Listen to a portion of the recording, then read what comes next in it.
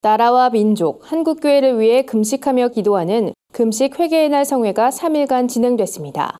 참석한 500여 명의 성도들은 우리의 부르짖는 기도를 통해 난국을 헤쳐나갈 수 있길 바란다고 간절히 호소했습니다. 성회 관계자는 공정성과 정직성을 잃어버리고 물질 만능주의에 빠져버린 것이 오늘날 우리의 모습이라며 예수를 믿는 사람들은 회개를 통해 용서를 구해야 하지만 현실은 이마저도 잃어버렸다고 지적했습니다. 이어 이런 때에 한국의 에스더와 모르드게, 기도원 300용사가 다시 일어나야 한다며 한국교회 온 성도들이 지금과 같이 한마음으로 기도한다면 새로운 역사가 일어날 것이라고 말했습니다.